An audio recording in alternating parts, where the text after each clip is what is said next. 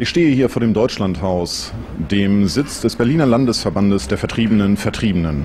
Der Landesverband der Vertriebenen soll vom Bundesverband der Vertriebenen vertrieben werden. Wir schauen mal nach den Rechten. Und hier kommen die dann lang. Ja, wenn.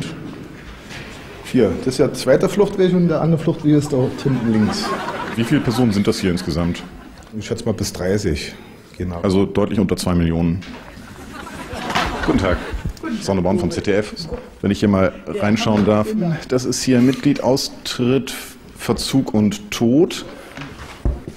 Das ist von 1958. Wo sind die Neueintritte? Warten Sie, warten Sie, warten Sie. Ich denke, ich habe Sie da mit drin. Gucken Sie mal. Wie ist die Zukunft der Organisation? Ach ja, auch schwierig. Kann es sein, dass die Vertriebenen eines Tages aussterben? Ja, wahrscheinlich wird es sein. Wo können Sie denn eigentlich hin jetzt? Tja, ich weiß das nicht, wo wir hingehen. Niemand, der Sie aufnimmt diesmal. Bis jetzt weiß ich das noch nicht. Und wie lange wird das dauern, bis die Vertriebenen hier raus sind? Na, geplant ist bis zum 31.07. Wird es zu Schikanen kommen? Ich hoffe nicht. Es wird zwar ein bisschen äh, gemurrt. Das ist, glaube ich, üblich bei Vertreibungen, oder? Guten Tag. Ist das auch so eine Art Ironie der Geschichte, dass äh, Vertriebene durch andere Vertriebene vertrieben werden aus diesem Büro?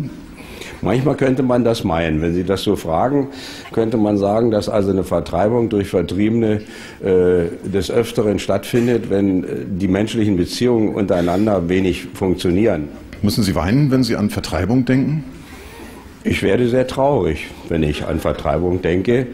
Denn wenn beispielsweise auch der Amtssitz des Bundespräsidenten äh, dem, von den Schlesiern stammt, von Langhans, oder der Aufsatz der Marienkirche oder die St. Hedwigs-Kathedrale ihren Namen von Schlesien hat und das Brandenburger Tor natürlich völlig geistiges Eigentum, außer der Quadriga von den So viel Schlesiern. vom Anführer der vertriebenen Schlesier. Das Brandenburger Tor haben uns die Schlesier geschenkt. Wir sollten nicht so undankbar sein und sie hier von hier wieder vertreiben. Wir geben zurück in die Funkhäuser.